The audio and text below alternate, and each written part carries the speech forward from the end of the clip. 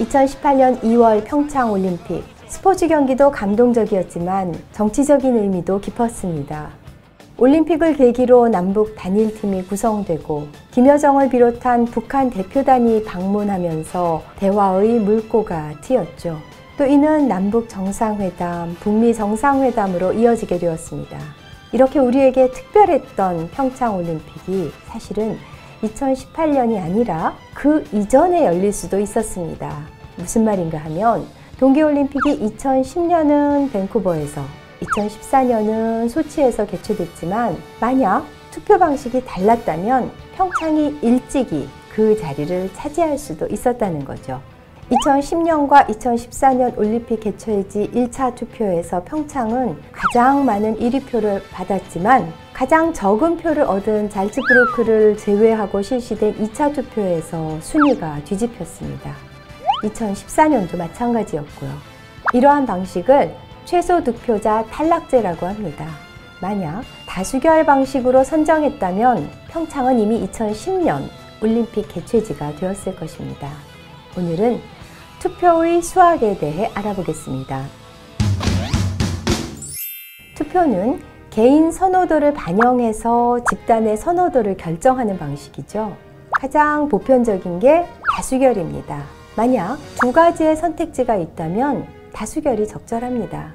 하지만 선택지가 3개 이상이면 달라집니다. 예를 들어 3명이 녹색, 파랑, 보라 중 좋아하는 색을 순서대로 적어보겠습니다.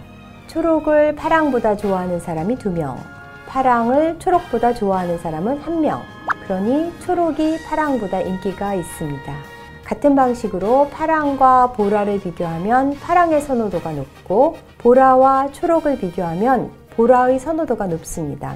파랑이 보라보다 보라가 초록보다 선호되기 때문에 파랑이 초록보다 선호된다는 결론이 되겠죠.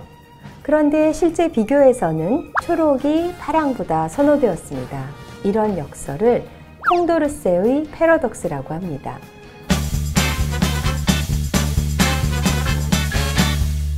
학급 대표를 선출하는 투표에서 A, B, C, D 4명이 후보로 출마했고 선호하는 순서대로 1, 2, 3, 4위를 적은 결과를 가정해 보겠습니다.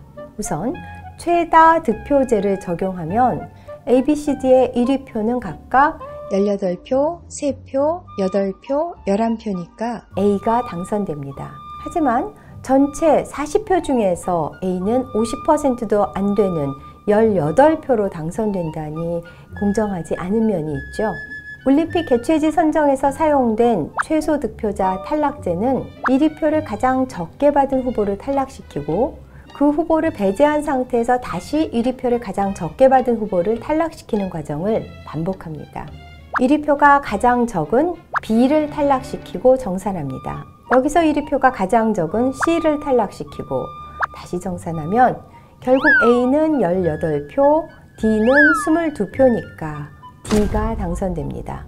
또 다른 방법으로 보르다 점수법이 있습니다. 선호 순위에 따라 점수를 차등해서 부여하고 그 점수를 합산해서 당선자를 결정하는 방식입니다. 1위 4점, 2위 3점, 3위 2점, 4위 1점을 부여하고 후보자의 점수를 계산하면 가장 점수가 높은 C가 당선됩니다.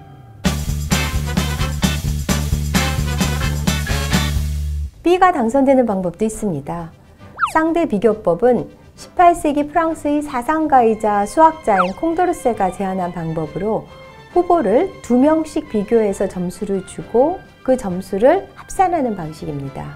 A, B를 비교해 보면 A를 선호하는 경우가 19명, B를 선호하는 경우가 21명. 따라서 B에 1점을 부여합니다. 이렇게 두 명씩 비교해서 점수를 부여하고 합산하면 B가 3점으로 당선됩니다. 지금까지 알아본 최다 득표제, 최소 득표자 탈락제, 보르다 점수법, 쌍대 비교법. 각 방법에 따라 당선자가 달라집니다. 어떤 방법이 가장 공정할까요? 공정성의 기준에는 과반수 획득 여부, 콩도르스의 기준 등 여러 가지가 있는데 모두를 만족시키는 방법은 없습니다. 이를 밝혀낸 게 케네스 에로입니다.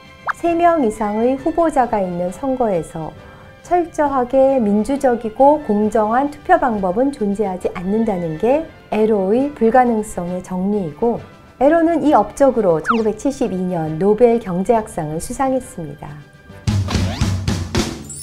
선거는 민주주의의 꽃이라고 합니다. 최다 득표제로 당선을 했더라도 불완전한 방법에 의한 결과이니 겸손한 마음을 가져야겠죠. 내년 저의 도전이 어떤 결과를 가져올지 모르지만 제가 약속드릴 수 있는 것은 하나.